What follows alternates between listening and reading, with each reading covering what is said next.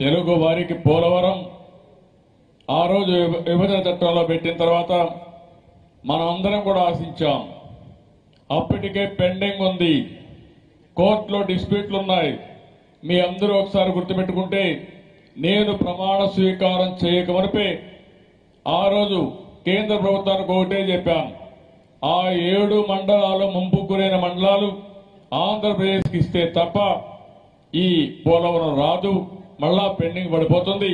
కాబట్టి నేను ప్రమాణ స్వీకారం కూడా చేయనని చెప్పి చెప్పిన తర్వాత పార్లమెంటు సమావేశాలు పెట్టక మునిపే ముందు ఒక ఆర్డినెన్స్ తీసుకొచ్చి ఈ ఏడు మండలాలు మనకిచ్చి తర్వాత పార్లమెంటు సమావేశాలు కండక్ట్ చేసే పరిస్థితికి వచ్చారు. సోమవారం పోలవారంగా చేసుకుని ప్రతి సోమవారం వెళ్ళి డెబ్బై ఒక్క శాతం పనులు పూర్తి చేశాం. మీరేం చేశారు వచ్చి? తగలబెట్టారు. చెప్పాను మీకు. మీకు ఆలోచన లేదు సబ్జెక్ట్ తెలియదు. నేర్చుకోండి. అది సాధ్యం కాదు. తెలుగు గంగ నీళ్ళు ఇప్పటికి కూడా చెన్నైకి పోవడం లేదు. అక్కడ పెడితే రావని ఆ రోజే చెప్పా. ఈరోజు ఏమైంది? మీరు చేసినటువంటి తప్పుడు విధానాల వల్ల కృష్ణా గోదావరి రెండు నదులు కూడా కేంద్ర అధీనంలోకి పోయినాయి. ఇది చేతగాని దద్దమ్మ ప్రభుత్వం కాకపోతే ఏంటి? మీరుంటారు మీరు వెళతారు మీరు శాశ్వతం కాదు రాష్ట్రం శాశ్వతం. ఈరోజు ఒక కాలువ తవ్వాలంటే కేంద్ర ప్రభుత్వం అనుమతి లేకుండా తవ్వే పరిస్థితి లేదంటే రెండు ప్రాజెక్టులు ఆ రోజు మనం ఏం ఆలోచించాం? పోలవరాన్ని పూర్తి చేసి ఆంధ్రప్రదేశ్లో ఉండే నదులన్నీ కూడా అనుసంధానం చేసి ప్రతి ఒక్క ఎకరాకు నీళ్ళు ఇవ్వాలనుకున్నాం. ఆ రోజు గోదావరి కృష్ణ అనుసంధానం చేశాం. వంశధార పెన్న అనుసంధానానికి శ్రీకారం చుట్టాం. ఈరోజు ఏమైనా అవన్నీ? రెండు వేల ఇరవైకి పూర్తి కావాల్సిన ప్రాజెక్ట్ని ఇరవై ఒకటి అన్నారు ఇరవై రెండు అన్నారు ఇప్పుడు జరగవంటున్నారు. దీనికి సమాధానం చెప్పవలసిన బాధ్యత మీకుందా లేదా అని అడుగుతున్నా. ఇది మీ జాగీరు కాదు. ఆంధ్రప్రదేశ్ రాష్ట్రం ఐదు కోట్ల ప్రజానీకు ఉన్నారు ఇక్కడ. వాళ్ళ మనోభావాల ప్రకారం మీరు పనిచేయాలి తప్ప మాట్లాడితే ఎదురుదాడి చేయడం బూతులు తిట్టడం లేకపోతే మన మీద ఏదో కేసులు పెట్టడం తప్పుడు ప్రచారాలు చేయడం దీనికే పరిమితం అవుతున్నారు? దీనికి ఎవ్వరూ భయపడరని చెప్పి హెచ్చరిస్తున్నా. అమరావతి ఇప్పుడే చెప్పారు. అమరావతిని ఒక రాజధానిగా చేసుకుని హైదరాబాద్ ఉంది. నేను గర్వపడుతున్నాను ఆ రోజు నేను ఇనిషియేట్ చేసిన ప్రాజెక్ట్ని తర్వాత వచ్చిన ముఖ్యమంత్రులు కూడా కొనసాగించారు. అందుకే ఈరోజు హైదరాబాద్ ఆ స్థాయికి వచ్చింది.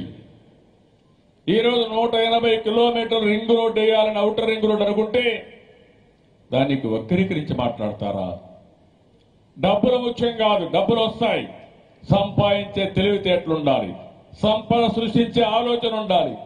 మీకు ఆ ఆలోచన లేదు కాబట్టి రెండు లక్షల కోట్ల రూపాయలు సంపద చేసే అమరావతిని సర్వనాశనం చేసి ప్రజల ఆస్తిని పేదవాళ్ళకు చెందవలసిన ఈ సంపద మొత్తం నాశనం చేసి ఇప్పుడు మీరు మాట్లాడతారా? ఈరోజు హైదరాబాద్ ఉంది. అభివృద్ధి చేశాం. సంపద సృష్టించాం. ప్రజలు బాగుపడ్డారు. ఉద్యోగాలు వచ్చాయి. ప్రభుత్వానికి ఆదాయం వస్తూ ఉంది. తర్వాత వచ్చిన ప్రభుత్వాలు కూడా దాన్ని కొనసాగించాయి తప్ప ఎక్కడా విధ్వంసం చేయలేదే. ఇంకో పక్కన మీరు చూస్తా ఉంటే ఇండస్ట్రీస్ అన్ని మీరు చూశారు. ఎవడైనా ఈ రాష్ట్రంలో పెట్టుబడి పెట్టే పరిస్థితిలో ఉన్నారా? ఈ రాష్ట్రం ఒక అనుకూల అనుకూలమైన రాష్ట్రం. ఈస్ట్ కోస్ట్లో ఉన్నాం. చాలా వరకు పోర్ట్లు ఉన్నాయి. పోర్ట్ లెడ్ ఎకానమీ రావాలని ఇండస్ట్రీకి ప్రాధాన్యత ఇవ్వాలని చదువుకున్న యువతకు వేరే రాష్ట్రాలకు పోకుండా వేరే దేశాలకు పోకుండా ఇక్కడే ఉద్యోగాలు రావాలని మనం ఆలోచించాం. అందుకే పదహారు లక్షల కోట్ల రూపాయలు ఎంఓయూలు చేశాం. అవన్నీ వచ్చుంటే ముప్పై లక్షల మందికి ఉద్యోగాలు వచ్చేటివి.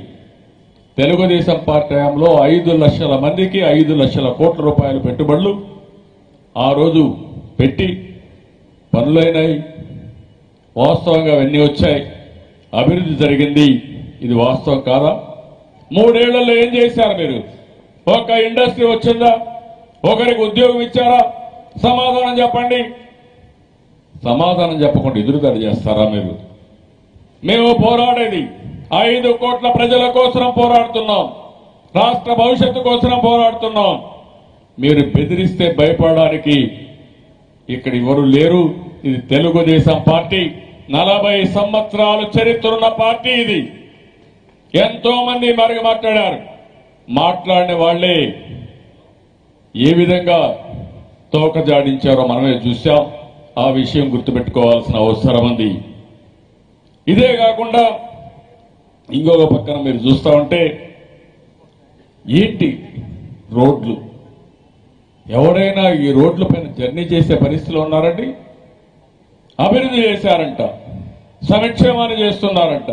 మనం అడ్డం పడుతున్నామంట ఎక్కడైనా రాష్ట్రంలో ఒక ఊరు నుంచి ఒక చిన్న టౌన్కు రావాలన్నా జిల్లా హెడ్ క్వార్టర్ రావాలన్నా ఎంత భయంకరమైన నరక యాతనండి ఎవరు దీనికి కారణం? రోడ్డు వ్యవస్థని పూర్తిగా విధ్వంసం చేశారు. ఎక్కడ కూడా నేను చూపించాలని సవాల్ విసురుతున్నా అందుకే క్వశ్చన్ చేస్తున్నాం. మాటలు చెప్పడం కాదు ఆ మాటలు చేష్టల్లో చూపించాల్సిన అవసరం ఆ విషయం గుర్తుపెట్టుకోవాల్సిన అవసరం ఉంది. ఈరోజు ఇంకో పక్క మనం చూస్తాం ఆరోగ్యం మొత్తం ఎత్తిపోయింది. పడకేసింది. ఒక పక్క కోవిడ్. ఇంకో పక్క మనం చూస్తా ఉంటే ఎక్కడ చూసినా హాస్పిటల్లో మందులు లేవు. హాస్పిటల్ అన్ని భ్రష్టు పట్టించారు. ఒక వినోత్తర కార్యక్రమాలు ఆ తీసుకొచ్చాం. అనేక సంస్థలకు శ్రీకారం చుట్టాం. ప్రతి ఒక్క హాస్పిటల్ని తల్లి బిడ్డ ఎక్స్ప్రెస్ దగ్గర నుంచి బిడ్డ పుట్టినప్పటి నుంచి చనిపోయే వరకు ఎలాంటి సంక్షేమ కార్యక్రమాలు ఇవ్వాలనో ఎలాంటి వస్తువులకు ఇవ్వాలనో మనం ఇచ్చాం. అలాంటివన్నీ ఇస్తే అవన్నీ కూడా ఈరోజు దెబ్బతిలేదా మీరు? ఓకే మెరుగైన వ్యవస్థను తీసుకొచ్చారా? కనీసం ఏజెన్సీ ఏరియాలో మీరు ఒకసారి చూస్తే మొబైల్ అంబులెన్స్లు కూడా తీసుకొచ్చాం. ఈరోజు గోళీలు పట్టుకొని ప్రెగ్నెంట్ లేడీస్ మైళ్ళు తిరిగి తిరగడి మనుషులు మోసే అనాగరిక ప్రపంచానికి తీసుకుపోయారంటే మీకు ఓట్లేసిన పాపానికి ఈ రోజు వాళ్ళ అవసరపడే పరిస్థితికి వచ్చారు. ఈ విషయం గుర్తుపెట్టుకోవాల్సిన అవసరం ఉంది. వెయ్యి రూపాయలు అన్నారు. వెయ్యి రూపాయల పైన ఉంటే ప్రతి ఒక్కరికి ప్రభుత్వం ఇస్తామని మాట్లాడారు. మాటలు నిలబెట్టుకున్నారా మీరు?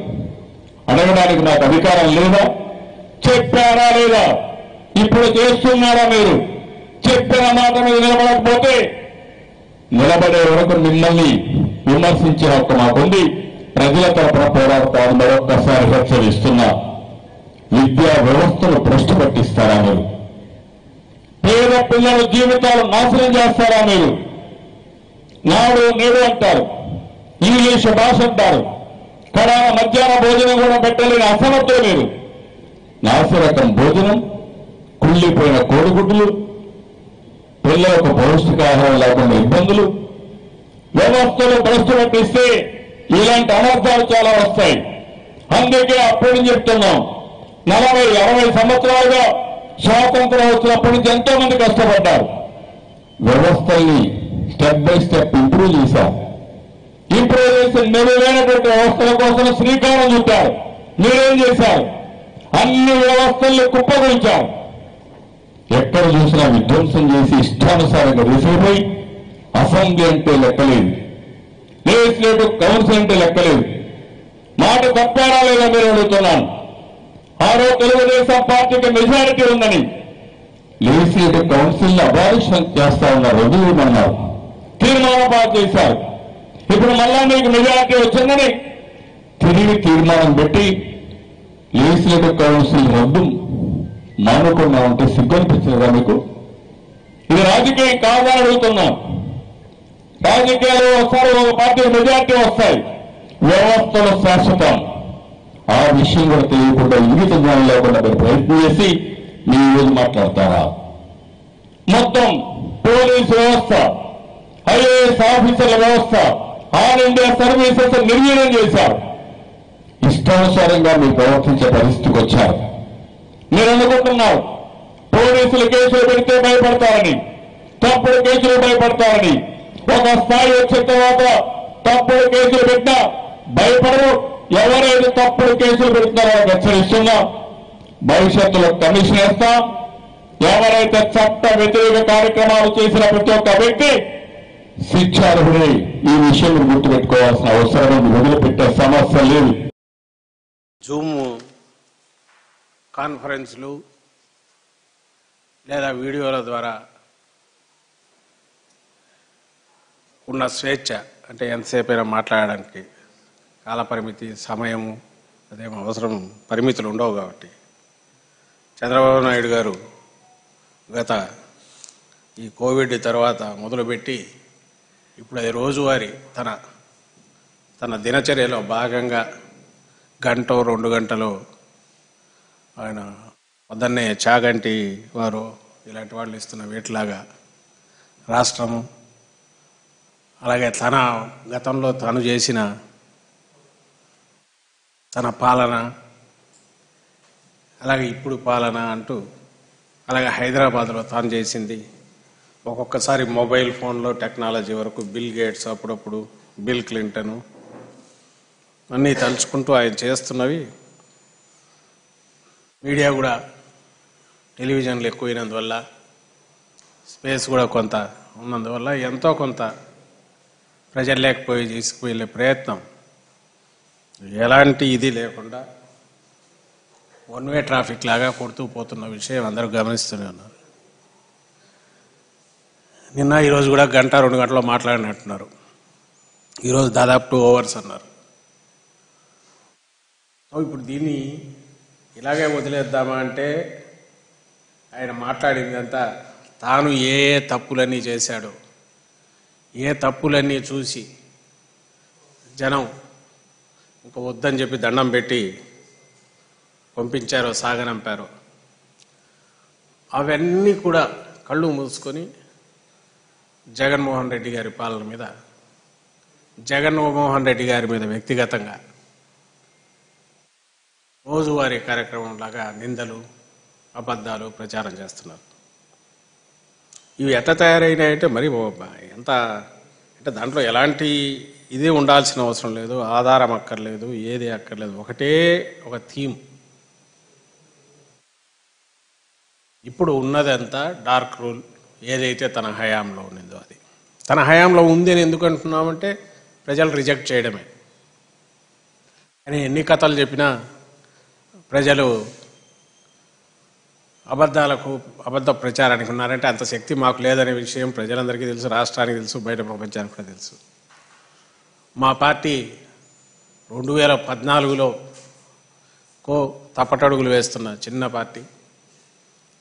రెండు వేల పంతొమ్మిది వచ్చేసరికి ఒక ఆర్గనైజేషన్ లాగా రెండోసారి కొంచెం పకడ్బందీగా ఎన్నికల్లోకి రాగలిగాం తప్ప ఎలాంటి రీసు వనరులు కూడా లేని పార్టీ. అలాంటి పార్టీని ఆ నాయకుడిని నమ్మి కోటి ఆశలతో ఆయనకు అంతగా పాజిటివ్గా తీర్పు ఇచ్చారంటే అంత భారీ తీర్పు ఇచ్చారంటే మనలో ఏమి లోపం ఉంది అని ఆయన ఆత్మపరిశీలన చేసుకొని దానికి తగినట్టు మార్పులు చేసుకుంటాడేమని ఎవరన్నా అనుకుంటే ఆ పార్టీల వాళ్ళైనా. అది భ్రమ అని చెప్పి పదే పదే పదే పదే రుజువు చేయడమే కాకుండా ఆ తర్వాత జరిగిన ఈ రెండే రెండున్నరేళ్ళలో మళ్ళీ ఎన్నికలు వస్తుంటే ఆ ఎన్నికల్లో వస్తున్న ఫలితాలు చూసైనా కొంత ఏమైనా బుద్ధికి ఇది వస్తుంది అనుకుంటే అది కూడా రాకపోగా మళ్ళీ అదే దీంట్లో వెళ్ళిపోతున్నారు. అదే టోన్ అదే టెనర్. ఎలాంటి తేడా లేదు. పైగా విజృంభించి ఇంకా విషం కక్కడం అనేది ఎక్కువైంది.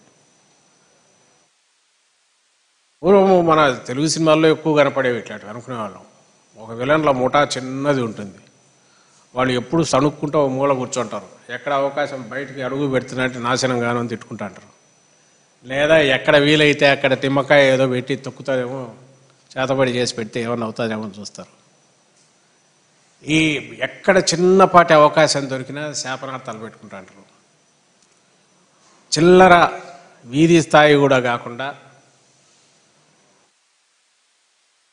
ఒక చెట్టు కింద కూర్చొని మాట్లాడుకునే వాళ్ళలాగా కళ్ళు మూసుకొని వెళ్ళ వెళ్ళ వేయడం. నోటికి ఏదో వస్తే అది. ఒకదానికి ఒకదానికి పొంతన ఉండదు. ఇప్పుడు ఉన్నట్టుండి మాట్లాడి నెక్స్ట్ క్షణంలో ఇంకొకటి ఎక్కడికో వెళ్ళిపోతారు. దీన్ని సబ్స్టాన్షియేట్ చేయరు దాని గురించి మాట్లాడు ఆయన రెండు గంటల ప్రసంగం అనేది తెప్పించుకొని చూస్తే మొత్తం అట్లే ఉంది. ఒక్కొక్కటి ఒక టాపిక్ లాంటిది. నువ్వు ఏ బేసిస్ మీద అన్నావో తెలియదు. తీర్మానాలు అయితే మొత్తం చేసేసి మాట్లాడినట్టుంది. ఇలాంటి ఈ శాపాలు పెట్టడము ఒక సీరియస్ సీరియస్ రాజకీయ పార్టీ అయితే సీనియర్ నాయకత్వం అయితే అది. ఈయన సీనియర్ నాయకుడు అయితే అది చేసినందులో ఏం ప్రయోజనం కలుగుతుంది? ఎక్సెప్ట్ వాళ్ళ అధికార పత్రికలు లాంటి వాటిలో ఒక గంట స్పేస్ నింపడం తప్ప వాళ్ళ కార్యకర్తలు కూడా ఊపి ఇవ్వలేకపోతుంది. ఎస్ మనం లేవగలమని ఎప్పుడైతే మీద కుప్పం పోయిందో నిన్న ఈరోజు నిన్నో ఈరోజు అన్నాడంట ఈసారి డి అంటే డి అనగలిగిన నాయకులకు టికెట్లు ఇస్తామని. మరి ఆ లెక్కన కుప్పంలో ఫస్ట్ మార్చాలా?